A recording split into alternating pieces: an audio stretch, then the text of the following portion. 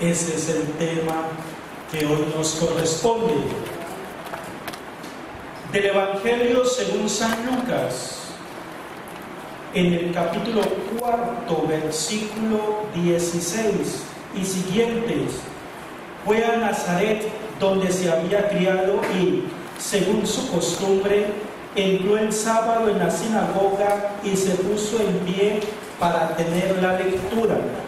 Le entregaron el volumen del profeta Isaías y, desenrollándolo, encontró el pasaje donde está escrito, el Espíritu del Señor está sobre mí porque Él me ha ungido para que dé la buena noticia a los pobres.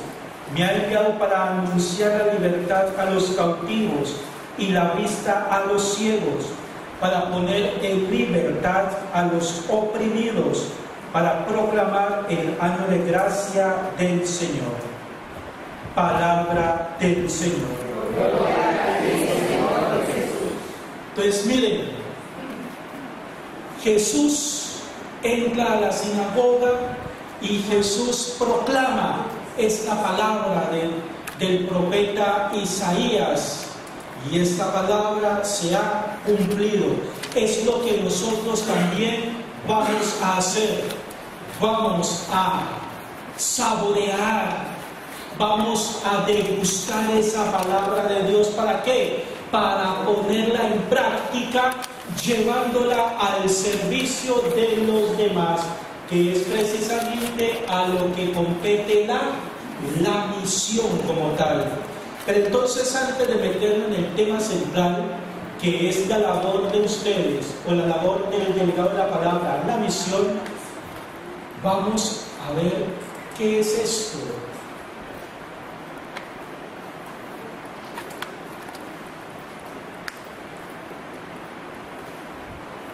La palabra celebrar. La palabra celebrar. ¿De qué manera ustedes o nosotros celebramos la palabra? En la liturgia de la palabra, y esa liturgia de la palabra se celebra en el sacramento de la Eucaristía, primordialmente, primordialmente, porque también celebramos esa palabra en una liturgia de la palabra, también en la lección divina, cuando nosotros hacemos oración a través de la lección divina. ¿Y por qué no? Y me atrevo a decirlo, aun cuando nosotros cogemos la Biblia personalmente y hago lección o simplemente leo un texto bíblico y medito ese texto que he leído. Entonces celebramos esa palabra. Pero entonces vamos a ver algo de lo que nos dice aquí el compañero celebrar esa palabra principalmente en la Eucaristía. ¿Para qué? Ya esto tendrá una relación con lo que vamos a ver más adelante. Entonces, ojo, la Eucaristía.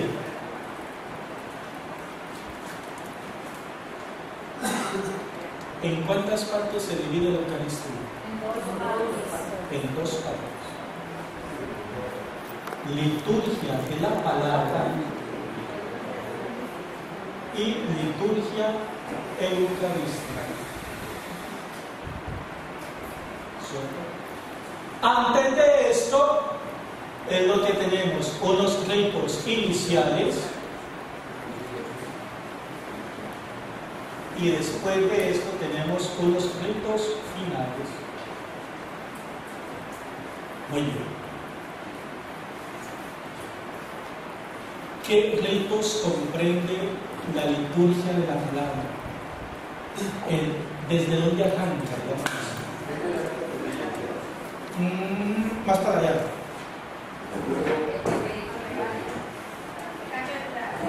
No, no, después de la penitencia. No, esa va después de la celebración. Desde la primera lectura. Primera lectura, exactamente, tenemos la primera lectura. oración de los fieles. ¿Qué más? Es un domingo. Es un domingo. El salmo, segunda lectura y el evangelio. ¿Qué más sigue? La homilía. La oración. El credo Es un domingo, el credo La oración del y la oración de los fines. Pues eso es lo que comprende la liturgia de la palabra.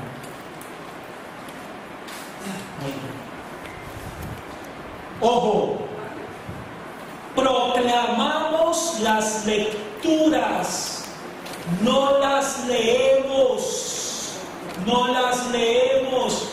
¿Y cómo así, Padre, que proclamamos? Cuando nosotros proclamamos la lectura, quiere decir que la hemos meditado, quiere decir que la hemos preparado, quiere decir que la hemos hecho vida en cada uno de nosotros. Quiere decir que la hemos rumiado, la hemos masticado. Eso es proclamar la palabra de Dios. Yo puedo decir algo, yo puedo leer algo, itinerario discípulo misionero, encuentro conversión discipulado, comunidad misión. Eso lo leí. Yo puedo leer algo, formación pastoral de servicio laical, es arquidiócesis de Cali. Eso lo leí. Yo puedo leer. La palabra es vida, amor, alimento. Sin la palabra nos morimos. Eso es leer. Pero ya cuando yo hago o quiero hacer esta palabra mía, que es palabra de Dios, entonces ahí es donde la proclamamos y saber que no es cualquier cosa que estoy leyendo, sino que es la palabra de Dios. La palabra de Dios. Por eso proclamamos la palabra de Dios. El Salmo. Entonces, ojo, esta primera lectura, esta segunda lectura y este Evangelio la proclamamos en Salmo, lo recitamos o lo cantamos, ¿cierto? ¿Por qué? Porque el Salmo es como una poesía. Es una poesía, es una poesía. Lo declamamos. Miren, yo toda la vida no fui cura. Yo tuve 20 años y un corazón vagabundo, como dice la canción. Y todos nosotros nos enamoramos, ¿cierto? Claro, claro. Y hoy por hoy se ha perdido, pero uno cuando tenía su novia, que todavía existía el romanticismo, pues uno le dedicaba a su novia poesías. Así tuviera una voz de tarro. Pero uno le dedicaba una poesía allá acostado en el campo en la noche. Y es que tus ojos parecen dos luceros alumbrando allá en la eternidad. Miren. Lo mismo sucede con el salmo. Es una poesía. Y por eso lo que tú dices, preferiblemente cantarlo. Si no se puede cantar íntegramente la antífona, y si no hay una persona que ni siquiera cante la antífona, al menos ahí sí pues que, que se recite, que se recite. Entonces, ojo, es primera característica de esta liturgia de la palabra, que las lecturas son proclamadas. El salmo es declamado. Segunda característica, ojo, ya es la manera, la forma como tú subes a proclamar esta lectura. ¿A qué me refiero? Ojo, no puedes, porque es palabra de Dios, no puedes proclamar esta palabra de cualquier manera, vestido de cualquier forma. Ojo con eso. ¿Por qué? Porque hoy en día, por el amor de Dios, se está viendo cómo algunos o algunas van a proclamar la palabra en Bermudas, con unos descotes que se les ve absolutamente todo, con unos chorcitos que están mostrando todo. O vienen entonces de, de baño, de río, y entonces una vez se quedan allí en la Eucaristía, y entonces y van a proclamar la palabra de Dios en sudadera, en zapatillas. No, se necesita de coro, se necesita de coro para proclamar esa palabra de Dios.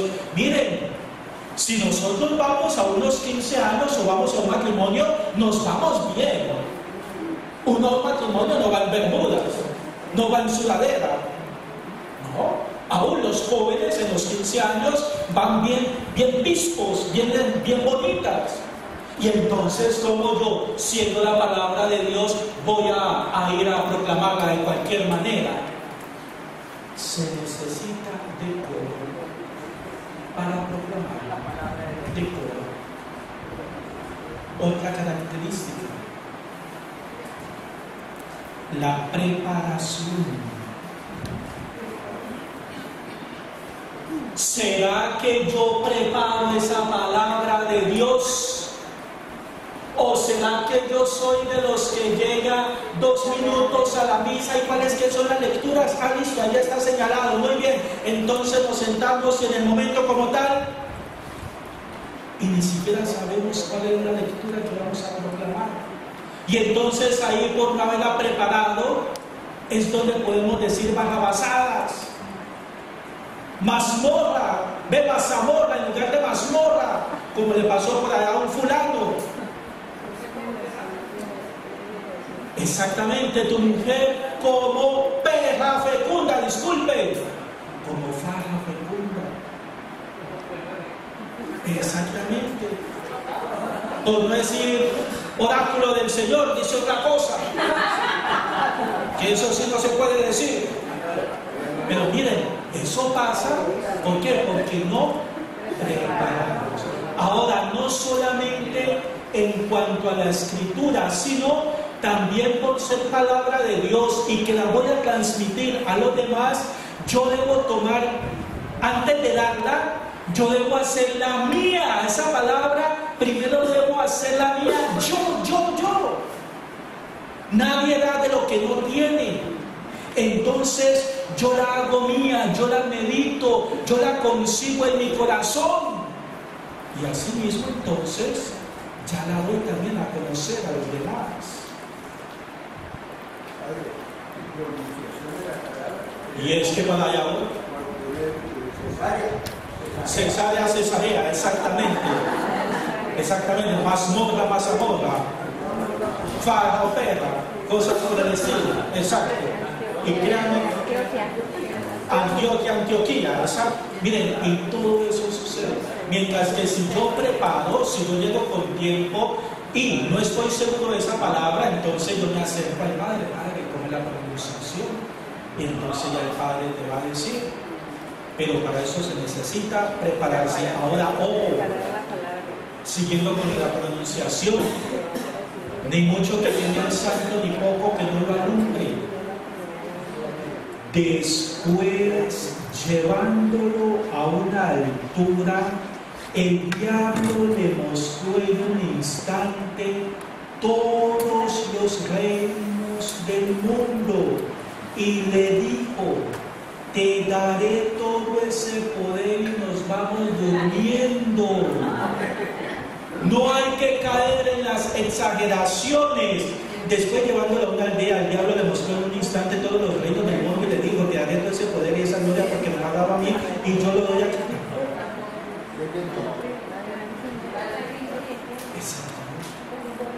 Normal, normal, normal. En cuanto a la pronunciación, entonces, ¿cómo con esto, querida familia? Yo estoy preparando esa palabra de Dios o simplemente la leo como leer un periódico, como leer una, una receta de cocina los ojos Entonces, las lecturas que deben ser proclamadas, el salmo declamado, se necesita decoro, la preparación en cuanto a eso.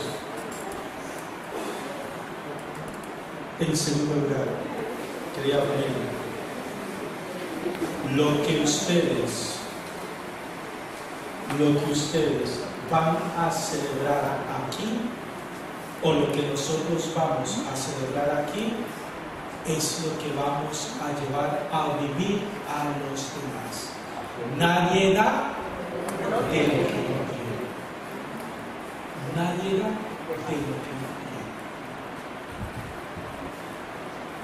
Y para dar lo que tenemos hay que vivirlo desde aquí. Principalmente desde la celebración de la Eucaristía, de la celebración de la Eucaristía.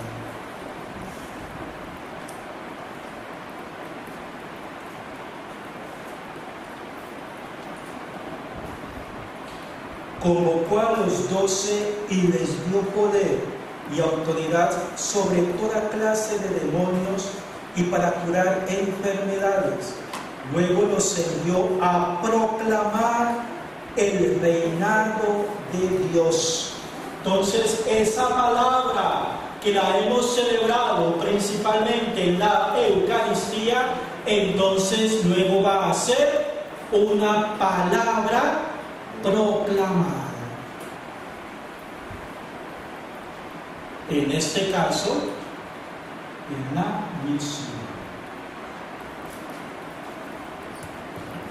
Esa palabra celebrada, luego la vamos a llevar a que se haga palabra proclamada. Palabra proclamada. Ahí sí. Vamos a repartir estas folias.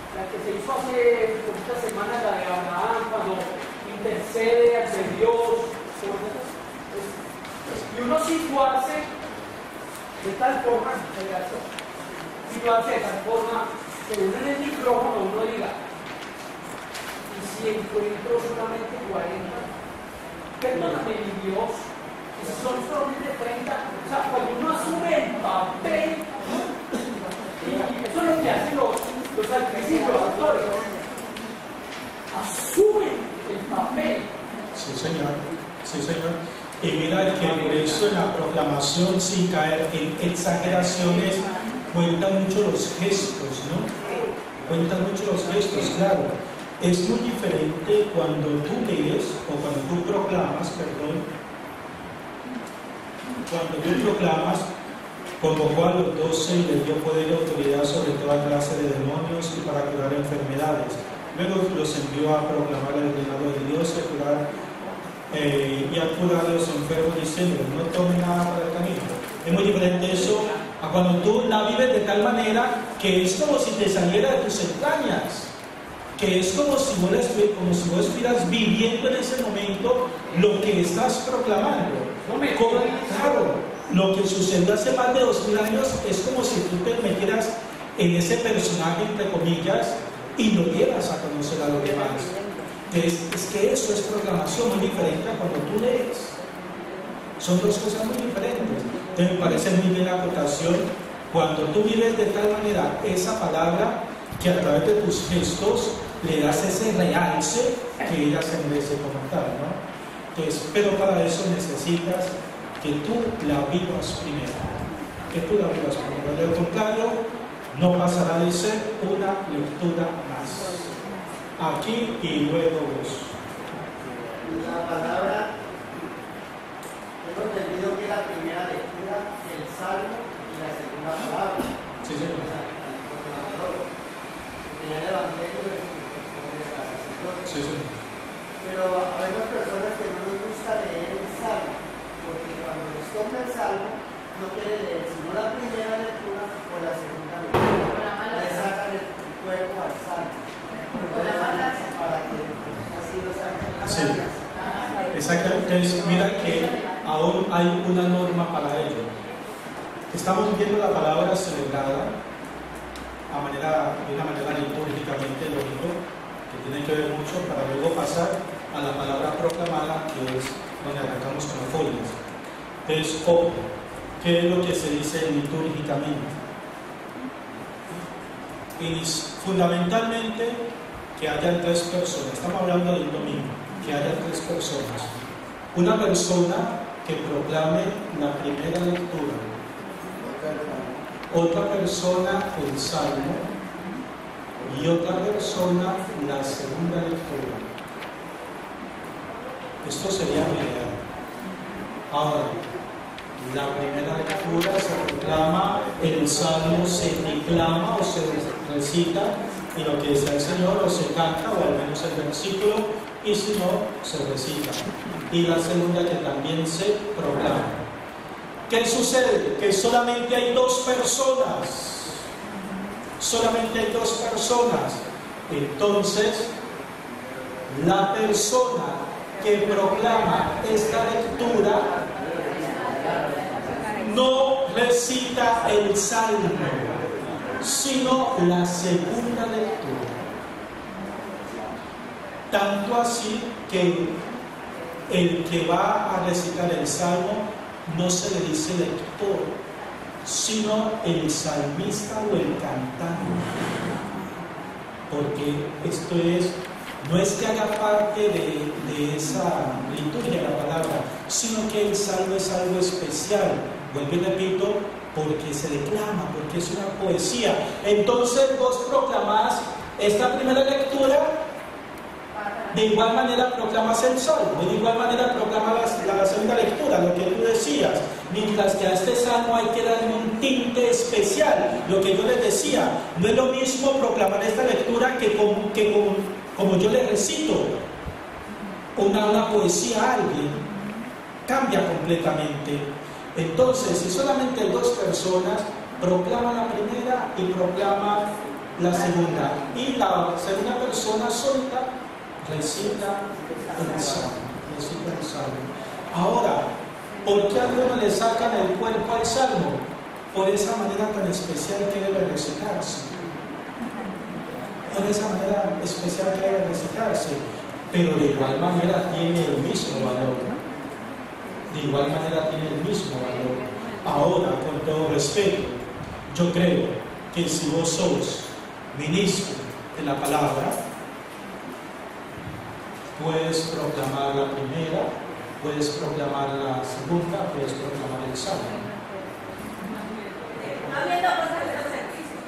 Es un servicio y es un servicio. Exactamente. Exactamente. No, es que yo no quiero proclamar el salmo. No, no, a mí más bien deme la primera lectura. No, no, a mí más bien deme la, la segunda lectura. No. Miren, es lo mismo que sucede en Semana Santa. No sé por qué se pelean por las lecturas. No, es que a mí dame tal lectura, no es que a mí me da la lectura, dame. No. Toda es palabra de Dios. Claro, yo cuando me viene a decir, no, yo proclamo el Evangelio, ahí sí no. Eh, quieto ahí, ahí sí es completamente diferente. Pero el resto no. No hay problema, no hay problema. Eh, Alguien tenía una. Sí, el Señor y para aportar sobre lo que estamos hablando, el significado que se debe dar a la lectura, a la proclamación. Sí. Por eso es importante, digamos, prepararla y uno conocerla, para que uno darle el significado o el título que uno quiere expresar de la Exactamente. Y conocerla, porque no, no, no le da el... Claro, lo que decía el compañero, exactamente. Vos no das de lo que no tenés. y así como la preparas, entonces así mismo también la vas a dar a conocer. Miren, es lo mismo, y ustedes me van a desmentir, es lo mismo cuando el sacerdote eh, dice la homilía. Y entonces, dependiendo como diga la homilía y aún toda la celebración, a la persona le llega. A la persona le llega, porque uno se encuentra con personas que me dicen, Padre, usted me tocó. Con lo que usted dijo, usted me tocó. No sé, pero me tocó. Como hay otras personas, no. El Padre habló lo más de lindo, hermoso. Sí, que fue lo que dijo. No sé, pero fue maravilloso. No, no es Mire, habló tan bonito, pero no me acuerdo. ¿Me entendés? Entonces de eso se trata. ¿De qué forma vos das a conocer a través de tus palabras y en tu expresión esa palabra de Dios? Esa palabra de Dios. Entonces, en la Eucaristía primordialmente vivimos o celebramos la palabra. Celebramos la palabra. Padre, No, sí. Ah, sí, ¿verdad? ¿Qué tenías? Eh, mucha gente, por ejemplo, yo soy una que generalmente yo leo y a mí me daba mucho susto leer el salmo, no porque, sino porque cuando uno prepara la palabra, la primera o la segunda lectura, tiene el tiempo de prepararla, meditarla y se va de una a hacerlo. Mientras que en el salmo, le puede pasar a muchas personas, a mí me pasaba, como uno tiene que proclamar, la- o recitar la estrofa y esperar que la gente conteste, volver a recitar la siguiente, entonces eso genera como más tensión en el momento de hacerlo. Y esa puede ser una razón sin, que signifique que, que, que sea por otra razón. Sí. Y la otra es que, eh, según lo que usted decía, y también como para aclarar, cuando uno proclama la palabra, la idea es proclamarla, pero tampoco volverla como, como una obra de teatro o algo así, porque Sí, por eso no, termina decía no caer en la exageración. No caer en la exageración. Exactamente, exactamente. Muy bien. Nadie da de lo que no tiene. ¿sí? El antiguo es necesario como fue una de la unidad Es necesario. Para que haya participación de, los fieles, ¿no? Para que haya participación de los fieles. Es necesario. Ya en otros contextos de otra celebración, por en la liturgia de las horas, ahí ya hay sus excepciones. Pero en la Eucaristía sí es necesario. ¿Listo? Exactamente. O al inicio o al final. O un momento de silencio. Pero padre, cuando se hace gloria con una estrofa específica, eso no sucede la, la, la lectura del Evangelio. Cuando se hace un grupo, Sí, o sea, cuando- porque antes del Evangelio se canta todo- el aleluya. la lectura de la lectura, porque vean, me confundí. Con el, la,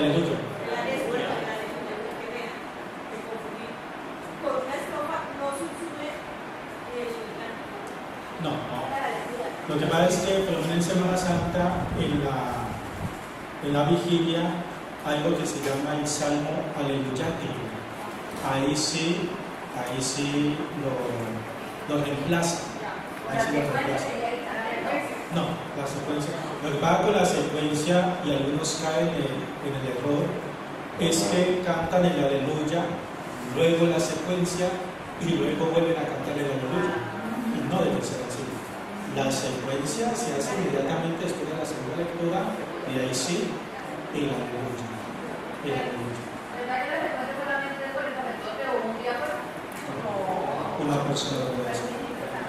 Ahora, ojo, por ahí vamos a aclarar dos duditas. Vamos a aclarar. Ojo, ¿por qué yo, por qué yo estoy haciendo esto? Porque ustedes que se van a hacer misión, y lo digo nosotros también, todas estas preguntas pueden salir. Ustedes van a llegar a hogares y van a ver personas preparadas, u otras no. Y entonces le van a preguntar todo esto. Y por eso yo me meto con esta, con esta palabra celebrada. Para que así ustedes tengan como dar también respuesta, no solamente a los grupos en donde están, sino también allá en los hogares. Entonces, eh, ¿qué sucede? Sí.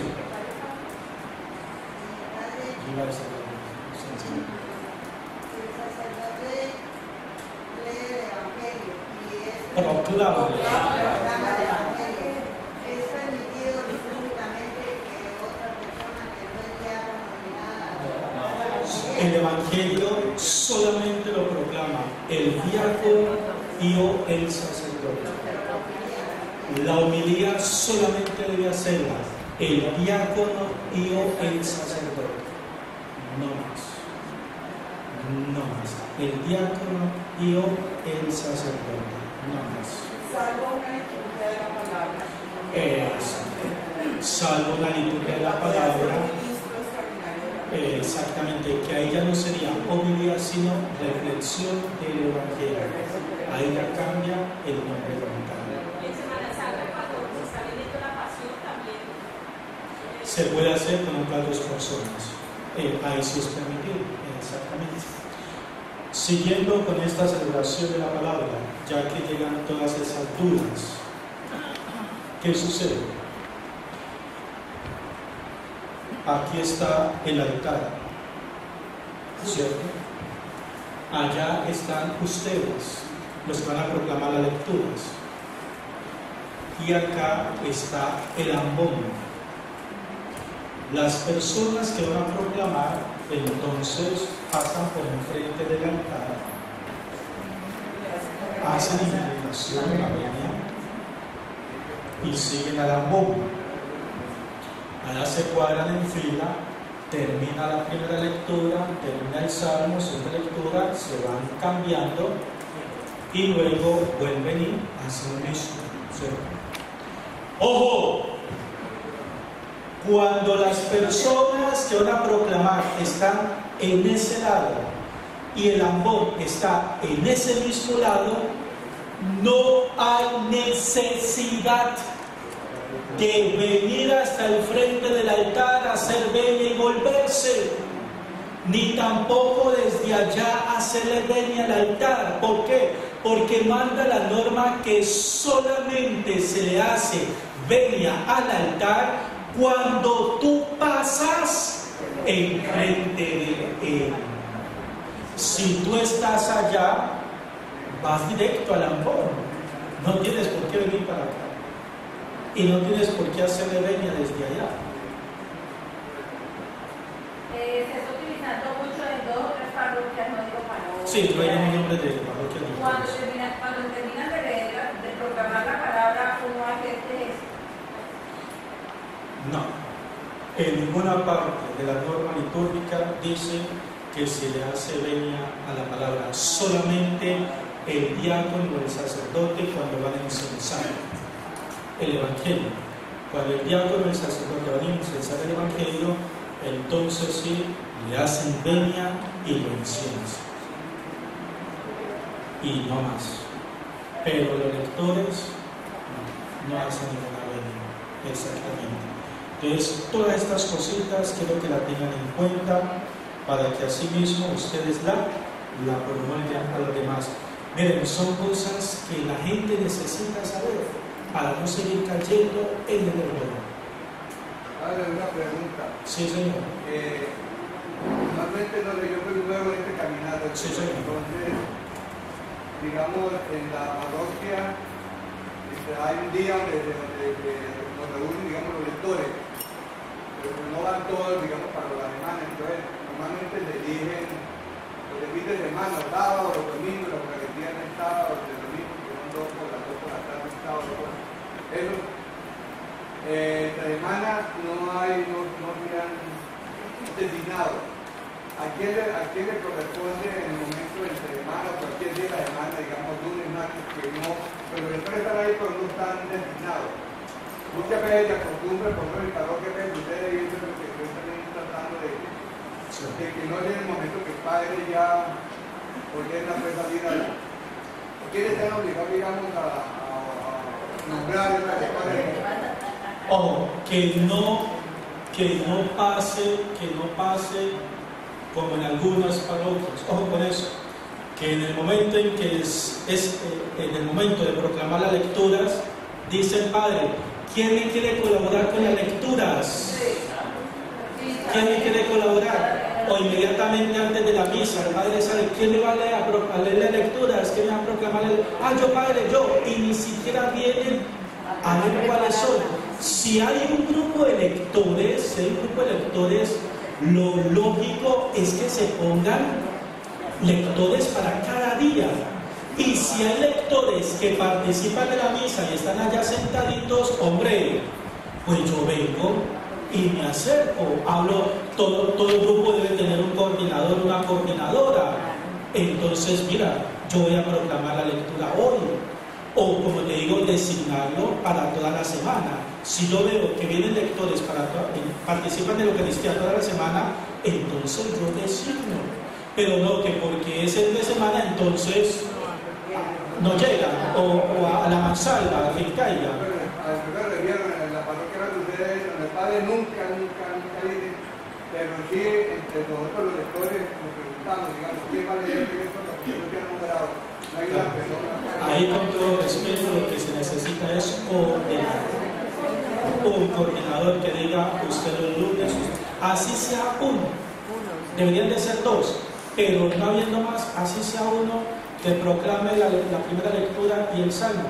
Que no debería, pero pues no habiendo más, pero al menos una persona que esté formada, una persona que sea ministra extraordinaria de la palabra. Si por una u otra razón definitivamente no hay ningún ministro de la palabra, entonces ahí sí, pero con tiempo, mira vos por qué no me haces que no vinieron los ministros de la, de la palabra, vos por qué no me proclama la palabra, ensayala, mirala, para que, mira, cambie el asunto.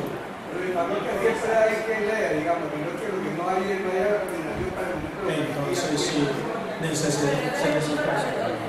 Claro, en primer lugar, el sacerdote. Yo, yo ya muchas veces que ser las encargadas de, de, de la Eucaristía, digamos, de la Eucaristía, como te animaban y todo, Claro, también debe haber un coordinador, y no solamente para la, la lectura, para cualquier otro grupo. Vos y luego... Lo que pasa es que hay sacerdotes que les gusta, y ellos mismos lo dicen, que haya participación del pueblo de Dios. Entonces ellos invitan, así haya lectores, ellos invitan personas, pero con tiempo, como dice usted, para que vayan media hora antes al, a la sacristía y preparen las lecturas.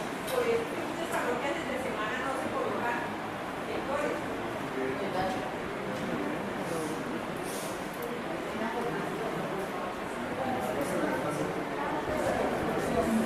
Es verdad que haya participación de los fieles y Vaticano II lo dice, claro que sí, pero se necesita formación. Formación, ¿para qué? Para que no se nos presente todo esto. Y hasta más. Y hasta más. Claro, claro, puede hacerlo, claro. Y que haya participación, excelente, pero que tenga formación son dos cosas muy diferentes. Estas personas que vienen de vez en cuando, bueno, fórmate, fórmate. Si te gusta salir a proclamar, fórmate. No te va a quitar nada. Entre uno más conozca de Dios, mejor todavía. Formación. Sí, señor. En mi parroquia, los delegados de Eucaristía, cuando no hay quien lea, entonces nosotros les pedimos, les escogemos para que lean, para que no haya esa descoordinación de que quién lee, quién lee, va a salir, no va a salir, sino que ya estén listos. Entonces los delegados de Eucaristía nos encargamos de eso, preparar a que están listos para leer. Entonces, ojo, respecto a eso, dice Vaticano II que cada uno haga solo y aquello que le corresponde. Ahora, si tú eres delegado de la comunión, dedícate como delegado de la comunión. Si tú eres delegado de la palabra, dedícate como delegado de la palabra. Ahora, hay excepciones. ¿En qué sentido? ¿En qué sentido?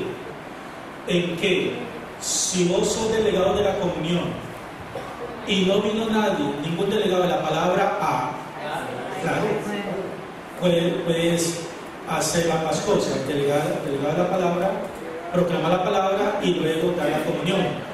Ahora, ojo, pero si hay delegado de la palabra, hay delegado de la comunión y vos estás en comunión y también vas a proclamar, como sucede en algunas parroquias, me disculpan, y entonces proclama la palabra y entonces recojo las ofrendas y entonces también al final doy la comunión. Otro poquito también consagran. ¿Me entendés?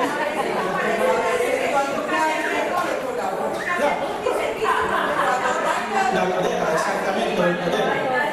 Cuando no hay nadie, entonces sí, ahí sí, ahí sí, pero el que cada uno haga. Sí, pero cuando tú eres delegado de la palabra y en la comunión puedes hacerlo. Ahora, ojo, en lo posible, en lo posible, una sola. Hoy puedes servir, puede ser proclamador de la palabra, mañana de ministro extraordinario de la comunión, pasado mañana, ¿ves? Pero que no te vea proclamando la palabra y luego te vea dando la comunión, volvemos a decir, si no hay más, sí se puede hacer. Pero si tienes sus lectores y tienes sus ministros de la palabra, que cada uno haga eso. En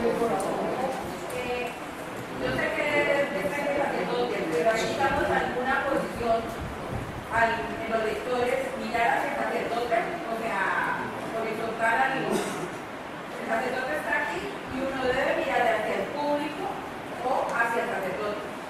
Bueno, no hay ninguna norma que diga la posición de los lectores. Porque No digamos, digamos cuando está uno así, el sacerdote está, está uno horizontal con respecto a la comunidad. La postura del sacerdote le ofrece algo, ya ustedes hacen un gesto o algo, está pendiente de que le faltó algo, algo, por eso, pero la posición es, si se hace así, sí, pero si está mirando la comunidad, el sacerdote debe de dar ganas para tratar de decirle a uno, mire, faltó lo que sea. Sí, exactamente. Pero en cuanto a los lectores y ministros extraordinarios de la comunión, eh, no se dice que haya una posición determinada en la forma en que se. Sí, señor. Padre, eh, respondiendo usted a algunas de las preguntas de, de, de la comunidad que nos encontramos aquí, eh, usted empieza diciendo, dice la norma, dice la norma qué, dice la norma, ¿dónde están estipuladas esas normas? Las normas están estipuladas, hay varias. La primera en la instrucción general del misal romano, que aparece, que son las rúbricas, las prenotandas del misal. Y la, acerca de las lecturas aparece en la instrucción general de las lecturas. Entonces allí está estipulado absolutamente todo. La instrucción general de las lecturas. Ahí aparece, si vos querés la van a internet, lo digo que sea de la, conferencia. Ahí está absolutamente todas las normas, todas, todas las normas. Entonces miren, y gracias por, por la acotación. ¿Qué sucede por el amor de Dios? Y lo digo con mucho respeto, lo digo con mucho amor, porque quiero a mis compañeros sacerdotes, porque todos oramos por todos. Lo que pasa es que a veces celebro la Eucaristía a mi manera, a mi gusto, al gusto del sacerdote, pero no con respecto a lo que me manda la norma. Exactamente. Miren, Igual, con todo el respeto del que está presidiendo, ese fue. Ah, claro. Hay que acatarlo y hay que. que hay que seguir. Pero entonces, mira, mira, así va a ser una cosa pues como Claro. rara, ya- Miren ejemplos sencillitos. Y todo esto quiero que lo sepan porque ustedes son los que van a llevar este mensaje a la misión. Entonces, miren, en ejemplos tan sencillitos. Porque hace parte de la, de la lectura de la palabra, el credo. Vamos a profesar nuestra fe. Creo en un solo Dios, Padre Todopoderoso, Creador del cielo y la tierra. Levanta la mano cuando la conferencia episcopal colombiana, en el apéndice número 10, no se me olvida ese número, dice que debe evitarse cualquier signo o gesto, signo o gesto de levantar las manos en el momento de profesar o de decir el credo. Entonces, claro, lo que tú dices, si el padre es el primero que dice, levante la mano, claro, la gente le hace caso al Padre. Pero entonces, ¿para qué aprendemos? Y lo que yo te decía, ¿para qué nos formamos? Para yo darme cuenta que aun cuando el Padre me está diciendo eso no debe hacerse. Y entonces les pongo un ejemplo sencillito. En la parroquia donde estoy ahora, que llegué nuevo, allá levanta, levantaba la mano. Pero hay una, una señora después se me, acercó y me dijo, yo empiezo a corregirlos y les leo la norma para que no digan que es cosa mía. Entonces se me acerca la señora, padre, mire que yo sabía eso y por eso yo no levantaba la mano. ¿Ves? Entonces, claro, exactamente. Entonces, cuando yo sé algo que no debe hacerse, así el Padre me lo diga, entonces yo no lo hago. ¿Por qué? Porque más que seguir la liturgia del Padre, yo sigo la liturgia de la iglesia, que son dos cosas muy diferentes. Y la liturgia de la iglesia debe ser unánime en lo que se celebra, en lo que se celebra. Dime que estás. Eh, por ejemplo, cuando no sé cómo se llama ese momento de la iglesia que dice por Cristo, con él viene a Dios Padre. Se supone que ese es el Padre y que no está contigo. el sacerdote. Y claro, el Padre dice, Es que hubo "Repita una de mí". época, hubo una época en que habían aprobado el mismo No, siempre lo ha dicho el sacerdote. Igual, igual que la oración por la paz, repitan conmigo. Señor Jesucristo, que dijiste a tus apóstoles, la paz de. Entonces, cuando yo sé que eso no es así, yo- miren, claro, yo era formador del seminario. Y entonces allá un obispo, yo con todo respeto, un obispo le metía al Dios te salve María después de la oración de los fieles. Yo sabía que no debía ir allí. Yo qué hacía, yo me quedaba allá. ¿Por qué? Porque si yo lo digo, yo que enseño liturgia, que enseñaba liturgia a mis, a mis seminaristas, si yo lo digo, bueno, pero si el padre que es el experto en liturgia lo, lo recita Dios te salve, entonces yo también lo puedo hacer. ¿Ves? Entonces por eso, lo que uno sabe que está mal, no lo hace. Hace. Además, eso sirve para corregir. Si yo soy lector o soy ministro extraordinario de la comunión y estoy allí, levante la mano, vamos a profesar nuestra fe, creo en un solo Dios. Y el padre vio que la, la, la señora no levantó la mano, padre, usted ve, doña Georgina, ¿y usted por qué no levantó la mano en la profesión de fe? Porque el padre Edison, según la norma de la conferencia episcopal, dijo que no se levanta padre.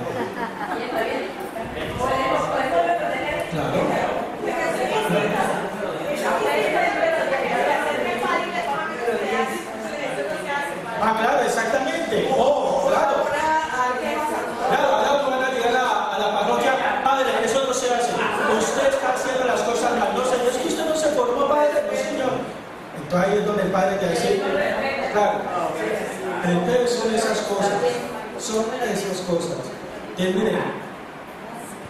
yo sé, yo sé que algunos padres no lo hacen por mal, lo que tú decías, para que la gente participe, pero tampoco podemos pasar por alto algunas normas.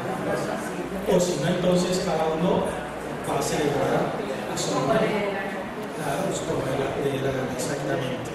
¿Listo? Para la preguntita, Sí. la instrucción general del predicar romano viene en lo mismo que esto.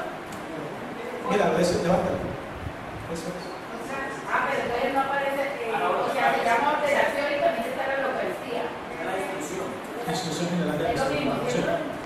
exactamente. ¿Está romano? Sí. La tapaba. Ordenación en vez de instrucción. Exactamente. Y mire, y esta, mire, y es que, cosa sencilla, ustedes vayan a sus parroquias, cojan el misal y en las primeras páginas aparece. Ahí está todo. Ahí está. ¿Qué es lo que pasa? Que a veces nos da pereza leer esas letricas tan pequeñitas. Pero ahí está absolutamente todo, cómo y por qué se debe celebrar los diferentes sacramentos. En este caso, la, Eucaristía. Se, se debe aplaudir al sacerdote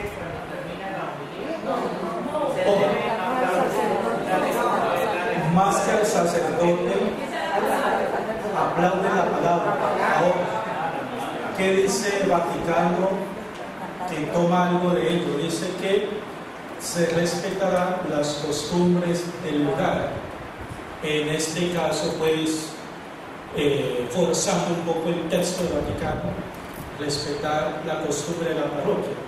Entonces, por ejemplo, eh, si ahí toda la vida han aplaudido la proclamación de la, del Evangelio, no es normal litúrgica. No es normal, no está mandado. ¿Qué quiere decir eso? Que si tú aplaudes, que si tú no aplaudes, no pasa nada. Es igual. Si tú no aplaudes, no pasa nada. Entonces ahí se habla sobre las, las costumbres. Esto ya tomando auge, pero pues tampoco es que deba hacerse. Pues, no. Todos aplauden. Que cumpleaños fulanito, aplauso. Que vamos a recitar el Padre Nuestro y luego aplauso. ¿Qué tal? Y levantamos el cáliz y aplauso. Todos se el aplauso.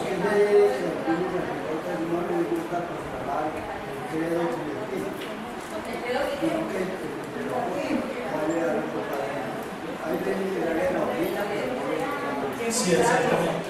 Tenemos los dos credos, ¿no? El de los apóstoles, el de los apóstoles es el corto, el que normalmente recitamos. Y tenemos el Niceno, Constantino, Corpelano, que es el... Claro, sí, sí se debería, sí se debería, claro que sí. Ahí sí ya es costumbre, pues, o ya depende de cada, de cada país. Exactamente.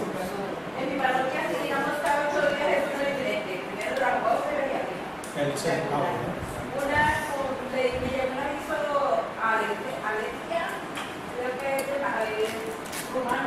Sí. que habían cinco horas que uno que no se come con los, la comunidad con ese y, y uno se reflexionando, o sea, decir amén cuando uno termina de decir el Padre Nuestro, no se le dice No se dice amén. en la misa. No se dice amén. Pero cuando lo estás rezando en el rosario, Ah, sí, sí. Sí. Porque es un acto devocional. Pero la Eucaristía, que es un, la Eucaristía, que es un acto litúrgico, no, no se termina. Muy bien, vamos entonces. Entonces ya tenemos la, la liturgia de la palabra, la palabra celebrada, especialmente la Eucaristía. Entonces nos vamos con la palabra proclamada, que es a la misión, que todo esto es lo que nosotros vamos a llevar a los hogares para que la vivamos de una manera más plena. Nadie da de lo que no tiene, ¿cierto? Entonces dice, la palabra es vida, amor, alimento. Sin la palabra nos morimos. Dar la palabra es entrar en contacto, crear vínculos, regalar lo mejor de uno. No es verdad que cuando nos enojamos con alguien, lo primero que hacemos es dejarle de hablar. Miren la importancia que tiene la palabra. Y es verdad. Me enojé con fulano, pues no le hablo. Sabemos bien lo que vale nuestra palabra porque la negamos. Para que se pueda tener verdadera fe en alguien, es necesario que nos dé su palabra. Miren, anteriormente la firma, los contratos, que era la palabra dada. Ese era el contrato más valioso que podía haber. Es que vos me diste la palabra y así será. Hoy por hoy, desafortunadamente, si no es con firma, si no es por contrato, no tiene ningún sentido. Pastor y registra la notaría y cuantos papeles nos metan por ahí. Así Dios nos ha dado su palabra. Cristo es la palabra, como lo dice el Evangelio de San Juan. La palabra de Dios se hizo carne entre nosotros y nosotros. Dios nos ha dado a Cristo, su Hijo, su palabra. Ha querido dialogar con nosotros. Dialogar es dar la palabra de Dios. Dialogar es dar la palabra. En la iglesia, ojo, en la iglesia no cabe celebración sin palabra. En la iglesia no cabe celebración sin palabra. Por eso, cuando nosotros vamos a visitar al enfermo, nosotros celebramos la palabra. ¿O no? Vamos, en el nombre del Padre, el acto de contrición, el yo pecador, el texto bíblico, esencialmente uno de los, evangelios, y de ahí pues, el Padre Nuestro y todo lo demás. Entonces, en toda celebración, toda celebración debe ir acompañada de la palabra.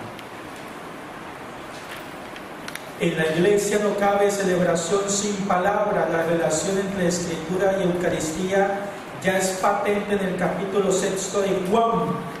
Palabra y sacramento se relacionan de manera que la liturgia se alimenta de la palabra de Dios, la cual a su vez se convierte por un nuevo título en palabra de vida por eso el rito eucarístico que nos mandó celebrar el Señor posee esta infraestructura. Liturgia de la palabra y liturgia eucarística. Nos metemos en el centro de la misión, la palabra en la misión. Así lo encontramos reflejado en el precioso relato pascual de Lucas 24 del 13 al 35 es decir, los discípulos de Emmaus. Los discípulos de Emmaus. Todos lo conocemos, ¿cierto? Todos conocemos el texto bíblico. Sobre la base histórica del encuentro de dos discípulos, donde se desarrolla una, una narración catequética tendente a expresar el encuentro de Jesús, su palabra misma con aquellos que se encuentran afuera entonces, ojo, varias cosas. La primera, una narración catequética.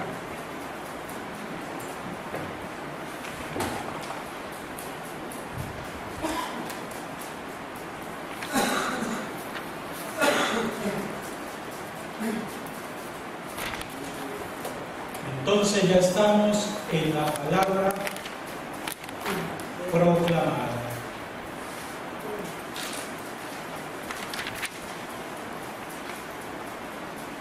teniendo en cuenta pues, el texto que vimos anteriormente, que Jesús mandó a sus apóstoles, que le dice, vayan y proclamen el reinado de Dios. ¿Y qué es el reinado de Dios? Sino el mismo, el mismo Jesús, cuando en el texto de Juan leemos que dice, y la palabra de Dios se hizo carne y habitó entre nosotros. Entonces, la palabra proclamada, entonces, ¿qué dice ahí? Que no es sino una narración catequética. Entonces, ¿qué, es lo que nosotros vamos a hacer en las misiones? A catequizar. Vamos a llevar esa palabra de Dios. Y esa palabra de Dios envuelve todo lo que veíamos acá, la palabra celebrada, porque pueden salir preguntas o cosas por el estilo. ¿Y a quienes? A aquellos que se encuentran afuera, Precisamente nosotros salimos de aquí, de nuestras parroquias, salimos a catequizar, salimos a llevar la palabra de Dios. Eso es lo que nosotros vamos a hacer en noviembre, Dios mediante. En efecto, en el atardecer del día de Pascua, un misterioso hombre se agrega en el caminar hacia Emaús un misterioso hombre, ese misterioso hombre va a ser, va a ser vos. Hay muchos hogares donde no te conocen y vos vas a llegar como ese hombre misterioso, vas a tocar la puerta. Miren, yo pertenezco a la parroquia tal, soy misionero y entonces estamos en este mes de noviembre llevando a cabo esta misión. Tú eres ese hombre o esa mujer misterioso, misteriosa, que va a llevar esa palabra de Dios que se agrega en el caminar hacia Emaús con aquellos dos discípulos, con aquella familia, con aquellas personas descorazonados que no le reconocen por su fisonomía. Querida familia, ojo, corazones descorazonados, ustedes son ese Jesús que van a llevar esa palabra de Dios a los hogares. En algunos de ellos descorazonados, en algunos hogares afligidos, en algunos hogares desesperanzados, porque no creamos, no siempre al lugar donde vamos a llegar, qué alegría, qué júbilo, está el misionero, no, venga, tómese un cafecito, tómese un pinto, venga, ya llegó el hora de almuerzo, póngase este almuercito con nosotros, qué alegría, y hagamos fiesta.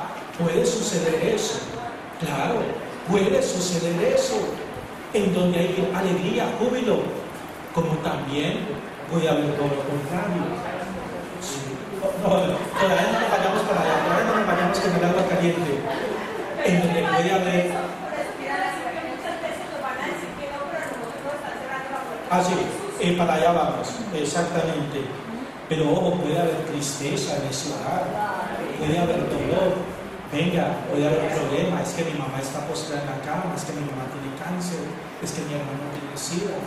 Entonces, son corazones afligidos, igual que estos discípulos se encontraban descorazonados por lo que había pasado, que le habían crucificado a su maestro.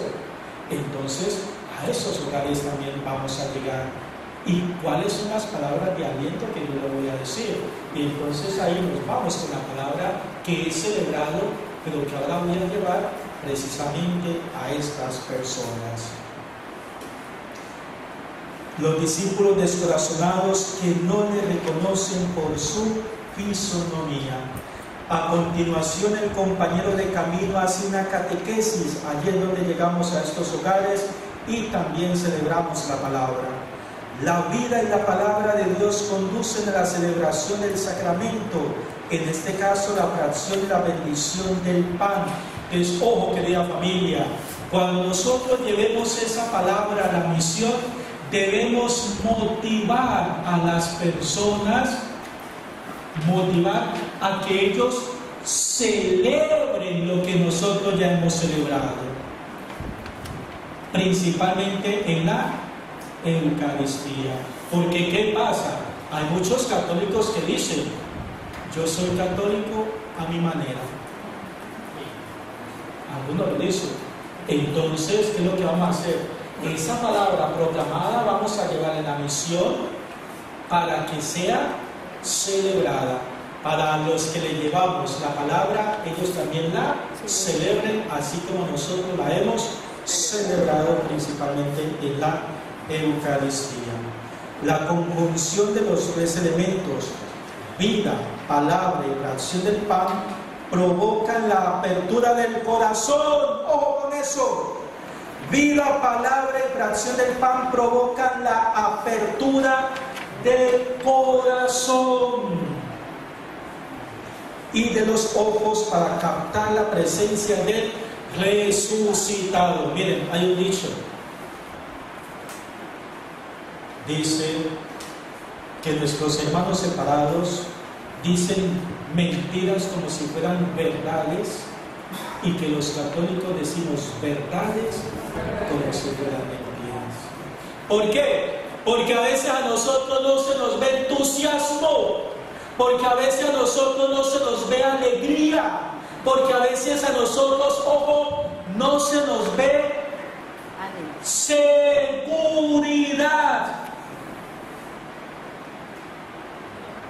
en lo que decimos o en lo que hacemos. Por eso echen al tarro de la basura aquellas palabras que pueden causar duda. Yo creo que, a mí me parece que, tal vez sí, no Señor. En las cosas de Dios son como son. La palabra está escrita y es palabra de Dios y así es. es. Y lo dice el mismo Apocalipsis. Nada de aguas tibias. O frío o caliente. Entonces esa frase de que a mí me parece que tal vez, que puede ser que a lo mejor, que quizás hay que desaparecer de nuestro vocabulario. Esto es así, así y así. Pero es que, no señor, es que es así. Y lo dice la palabra de Dios, sí señor. Y sobre la, sobre, la, sobre la inseguridad, la seguridad para hablar de las personas, la mayoría de las veces por la falta de preparación. Exactamente, ahí volvemos a lo mismo. Por lo que no, no puede Sí, señor. Sí, señor, tienes toda la razón. Por eso es que los laicos necesitan formación. Tienes toda la razón. Entonces, ahí viene, ojo, también lo digo con mucho respeto, la humildad de nosotros. Si nosotros no sabemos algo, no metamos la de caminar. Con toda sencillez, mira, la verdad, no he estudiado sobre el asunto, yo no sé, tomas nota, yo te doy el número del padre, háblate con él, o yo me hablo con él y luego te traigo. ¿Ves? Es mejor eso a que vos salgas con una barrabasada, diciendo lo que no debes o lo que no es. Uno va a muchas casas y están más, conocen más de Dios que uno que está ahí. Sí. Exactamente. Pero ojo que no es lo mismo conocer de Dios que vivir a Dios, ¿no? Entonces nosotros precisamente llevamos a las personas a que celebren, a que vivan esa palabra de Dios. Por acá ve la pregunta. Por ejemplo, que se lee la palabra, se hace una lectura muy bien, pero al terminar de palabra, al decimos, es palabra de Dios, Ah, exactamente, como que se pierde el interrogante, ¿no? Con seguridad, con seguridad. Verdades que no parezcan mentiras, sino verdades que suenen y que son verdades como tal. El resucitado se revela en la alternancia entre presencia y ausencia. Ojo, cuando está presente no es visto. Cuando Jesús se les acerca, estamos en el texto de los discípulos de Maús, cuando Jesús se les acerca, no lo reconocen. Y cuando se abren los ojos de los discípulos, entonces ya no está. Que es al final, cuando él hace la fracción del pan, entonces lo reconocen, pero ya no está. Así nos pasa a nosotros y así les puede pasar a las personas donde ustedes van a ir. Donde ustedes van a ir. Es que yo, Jesús no está, como dice el texto. Es que yo ya no creo en la iglesia. Es que yo ya no creo en los curas. Es que para mí, yo vivo a mi manera. Jesús ya no está. ¿Qué hay que hacer? Que ellos vivan la palabra de Dios para que al final vuelvan y lo reconozcan. Lo reconozcan. Lo reconozcan. Entonces, Pero ¿de qué manera se hace? Con el ejemplo de vida, con esa convicción que vos tenés y con ejemplos. Miren, la Iglesia Católica no es de santos, no está constituida por santos, los santos están allá en el cielo. Buscamos la santidad. Jesús nos dejó los sacramentos porque somos pecadores. La iglesia porque somos pecadores. El sacramento de la reconciliación porque somos pecadores. De lo contrario, desde ahora seríamos inmaculados. Entonces, y casos se han visto. Es que la iglesia no es perfecta. Es que los que hacemos parte de ella no somos perfectos. Y no quiero que sea una justificación. En el Antiguo Testamento, ¿quién era David? ¿Acaso David no mandó a que pusieran a Urias en primera fila para que lo mataran? ¿Para qué? Para ella poderse quedar con su esposa. ¿Acaso él no tuvo relaciones con la esposa de Urias? Miren, ¿y quién es David en nuestra iglesia hoy en día? Igual, el mismo Pedro. Pedro no negó a Jesús veces. ¿Acaso Judas no lo, no lo traicionó? ¿Quién era Pablo? ¿Qué quiere decir con esto? Que entonces buscamos la perfección, buscamos la santidad. Entonces, si tú ves a una persona desengañada de la iglesia, hombre, has que saber esto. Y lo dice el mismo Jesús, el que esté libre de pecado, que tiene la primera piedra. Y es que Jesús nos acompaña aunque no lo percibimos. Y cuando se nos abren los ojos de la fe y el corazón de, la comprensión, entonces lo percibimos presente aunque nuestros ojos corporales no lo vean. Eso es lo que tenemos que hacer de sentir a estas personas, que aun cuando no sientas a Jesús en tu vida, Jesús nunca te va a abandonar. Nunca está lejos de ti, siempre está contigo. Ustedes deben conocer esa, esa tan hermosa de huellas en la arena. Huellas en la arena, en donde vos creías que estabas solo en tus problemas, en tus angustias, y que Jesús se había olvidado de ti, y que porque solamente habías unas huellas en el largo de tu vida, y eran las huellas de Jesús, y a vos te llevaban los brazos. Que diga que tú nunca estás solo. Es esto lo que nosotros debemos hacer de sentir a la gente. Aquí tenemos la estructura fundamental de la celebración eucarística, la mesa de la palabra y la mesa del pan. La mesa de la palabra nos lleva precisamente a compartir esa, esa fracción del pan. Ahora bien, hay un detalle que no debería pasar desapercibido. aquella explicación de las escrituras por parte de Jesús, ¿acaso fue un gesto inerte, mera palabrería? En absoluto, fue un proceso comunicativo de enorme trascendencia. Entonces lo que decíamos ahora, no es palabrería lo que nosotros le vamos a llevar a la gente, es palabra de Dios y así debe verlo la gente como palabra de Dios y eso depende de lo que le digamos, pero también de nuestras actitudes, de nuestro entusiasmo, de nuestra motivación. Ojo, puso a arder los corazones de Cleofás y su compañero. Lo que yo les decía ahora, no, es que el, padre, lo que dijo el padre me tocó, es que yo sentí algo como que no sé. Es eso. Debemos hacerle sentir a la gente que Dios está vivo que está en medio de nosotros. Pero si nosotros llegamos con ese desaliento, con ese desánimo, vea, pues somos misioneros y estamos aquí en la parroquia trayendo la palabra de Dios, pues si usted quiere, pues nos sentamos y, y leemos un texto bíblico. Ah, bueno, listo.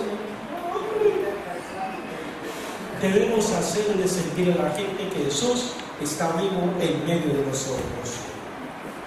Con aquella explicación Jesús penetra en su corazón, les comunica algo de la vida que habita en él por eso quitar a la celebración eucarística, la liturgia de la palabra, no sería separar una parte, sino mutilar un organismo. Por ello, ambas constituyen un solo acto de culto. Que la proclamación de la palabra se hace culto divino en la celebración conlleva que esa celebración de la palabra no solo se ordena realizar el aspecto santificante, ojo con esto, dimensión descendente, sino también el aspecto igualmente objetivo del culto, dimensión ascendente. Ojo, ¿qué sucede?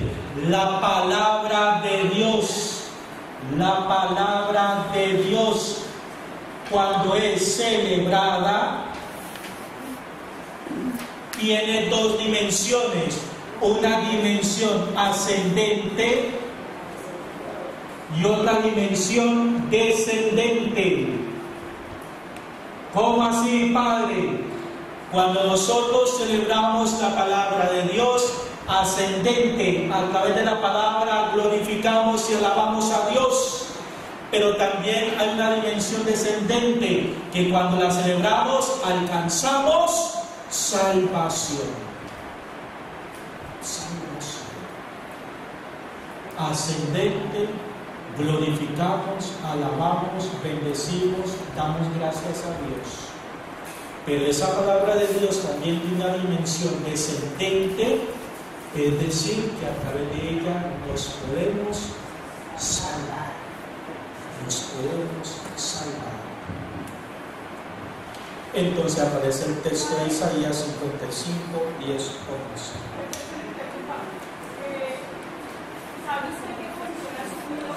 la conferencia episcopal respecto de esa propuesta que hay de prohibir precisamente las misiones, que no se puede ir, visitando casas, que no se puede en determinados momentos, que, no sean, que no sean, digamos, en horas apropiadas, entre comillas, eh, hacer celebraciones litúrgicas, ni en volúmenes, ni que sean como, como, como celebraciones eh, campales. Sino que son varias cosas, ¿no? ahí está lo que es el respeto a la persona, a la otra persona, sea que sea católica o no sea católica. Por ejemplo, un ejemplo sencillo, algunas parroquias han dejado de, tocar sus campanas. Por tutela, exactamente. En cierta manera tiene sentido. Si hay una misa a las 6 de la mañana y yo llego de mi trabajo de trasnochar y mi casa queda todo el frente del templo, y que yo escuche las campanas. Entonces, claro, puedo ser católico, pero, oh, las campanas que no me dejan por amor de Dios. Entonces, en cierta manera, ¿cómo? Ah, exactamente.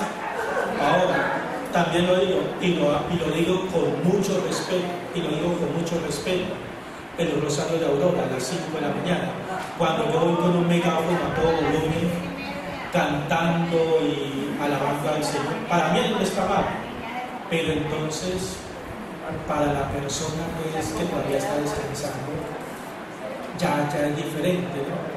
Entonces pienso que no hay que llegar a los extremos, ¿no? Las misas campales, aun cuando, aun cuando inicialmente, litúrgicamente se dice que la Eucaristía, los sacramentos deben celebrarse en el templo. Empezar por ahí. Pero ya por varias circunstancias, entonces ya se hace eso.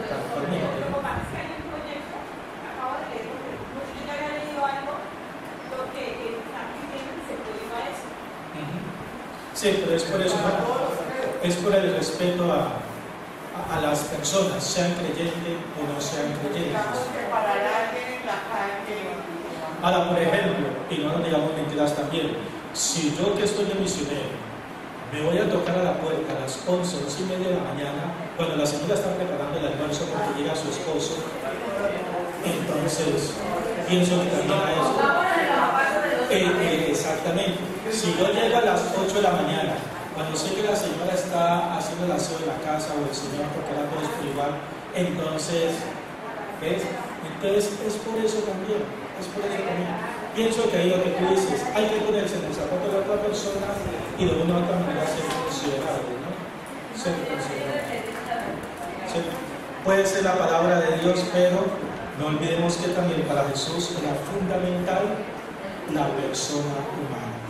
La persona humana. Sí, señor. Cosita que no podemos engañarnos, Padre. Todos los que estamos en este momento en este caminar, estamos tratando, digamos, de, de, de buscar, digamos, que la gente, porque yo soy de una comunidad y nos ha tocado salir a toque, salir a tocar puertas y a realizar con Eso no está fácil.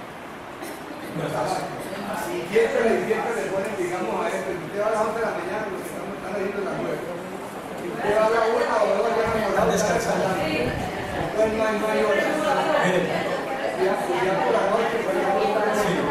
¿Qué están haciendo algunas parroquias? ¿Qué están haciendo algunas parroquias?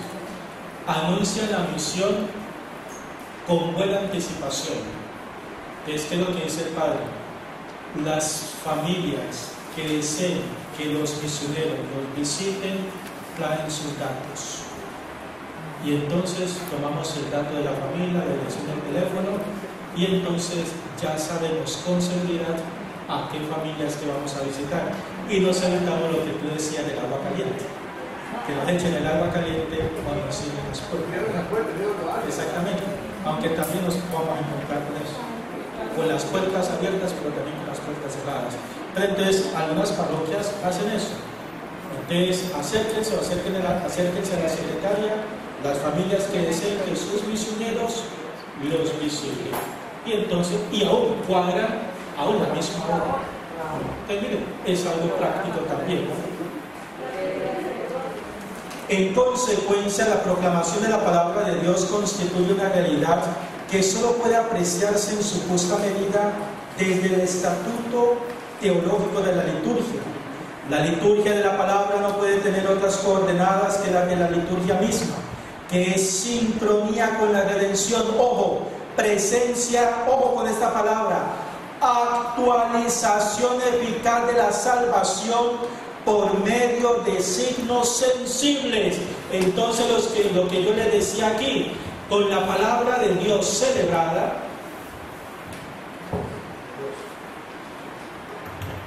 con la palabra de Dios celebrada, en esa dimensión descendente alcanzamos la salvación. Ojo, la palabra de Dios no es palabra de hace más de dos mil años y por eso dice el mismo texto, cielo y tierra pasarán antes que mis palabras pasen. Entonces, ojo, cada vez que celebramos la Eucaristía o algún sacramento o celebramos la palabra, actualizamos esa palabra de Dios. Es Jesús quien está actuando en el ya, en el ahora, en el presente. Entonces, no que porque estamos leyendo un texto bíblico fue por algo que sucedió, hablando históricamente, sino porque todavía, porque está sucediendo en el hoy, en el ya, en el ahora. Un ejemplo sencillito, el 24-25 de diciembre, el nacimiento de Jesús. Algunos dicen por ahí que ya se está volviendo pues también de nuestra iglesia católica, vamos a celebrar los cumpleaños de Jesús. ¿Cómo así que vamos a celebrar los cumpleaños de Jesús. Cuando nosotros celebramos un cumpleaños, estamos celebrando un día que pasó. Cuando nació el niño, eso lo estamos celebrando. A Jesús no, lo estamos no le estamos celebrando su nacimiento de hace más de dos mil años. Estamos celebrando el hoy, el ya, el ahora. Aun cuando sucedió algo históricamente, pero por la palabra eficaz, actuante, lo estamos celebrando hoy, ya, en este momento. Y es lo que sucede con la Eucaristía. La Eucaristía se celebra ese sacrificio impurento de Jesús. Hace más de dos mil años el sacrificio cruento. Hoy celebramos ese sacrificio impruento en el ya, en el ahora y a través del cual alcanzamos la salvación. Es. Exactamente. Ellos celebran el cumpleaños, bueno, que celebren sus cumpleaños. Nosotros no celebramos. Todo el recuerdo. Mientras que nosotros celebramos es el Jesús que actúa en este momento, en el ya, en el ahora. Ahí vamos terminando. Por consiguiente, en su momento cultural, donde la escritura desprende sus esencias más íntimas, la lectura de los textos está afectada por la mediación del receptáculo en el que esa lectura se lleva a cabo. La celebración de la Eucaristía entonces, la celebración de la Eucaristía. Entonces la proclamación de los contenidos bíblicos se realizan con la máxima fuerza y del modo absolutamente mejor, es decir, actualizándolos. La palabra actualiza a nuestro Señor y alcanzamos la salvación. En efecto, de toda celebración eucarística brota irreprimible el canto pascual. Cristo ha muerto, Cristo ha resucitado, Cristo volverá. Y ninguna palabra humana podrá tener jamás esa fuerza. Cualquiera que sea el texto que se proclame en la liturgia de la palabra, nunca podrá de- comprenderse desligado del plan salvífico de Dios, orientada siempre al misterio pascual de Jesucristo. No hemos de aproximarnos a la palabra de Dios como a un pasado, lo que les decía, sino como al presente, no como a una espera, sino como a un cumplimiento. El cristiano que participa en la Eucaristía se siente inmerso no en el tiempo de las promesas, sino en el tiempo del cumplimiento de las promesas, que es el tiempo de la liturgia. Nunca la Biblia es tan Biblia como cuando se la proclama en la Eucaristía que celebra la iglesia. La vitalidad, la actualidad y el dinamismo del sentido profundo de la escritura se realiza en la liturgia, ya que tal sentido profundo no es sino la unidad de la economía salvífica que se actualiza en el rito. Esto es lo que nosotros vamos a llevar a la misión, a las comunidades que vamos a visitar. Que la palabra comprenda la importancia, que las personas comprendan la importancia de la palabra, que experimenten la palabra a través de la celebración y que así podamos alcanzar la salvación. Gloria al Padre y al Hijo y al Espíritu Santo. Oh María concebida sin pecado. Espíritu Santo. Querida familia, van a tener el disgusto de verme, de haberme visto hoy, de verme dentro de 8 y de 15 días. Gracias, Padre.